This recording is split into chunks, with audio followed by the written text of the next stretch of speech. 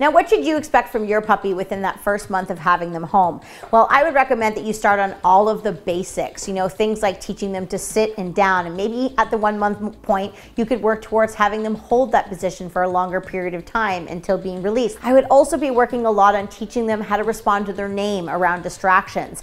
You don't necessarily need to put them in a distracting environment, but create distractions around you. You know, sometimes when I'm practicing, I'll grab some of her toys off of the uh, crate and I'll spread them around the floor and I'll work with more distractions around, even though I'm not changing the location, I'm making the environment around her a little bit more challenging. You might work on some calming exercises like teaching them a wait or an on your bed exercise so that you can utilize that when they're out of their crate instead of you know having to put them away all the time. Um, things that are going to allow you to control the puppy a little bit more easily is where your focus should be.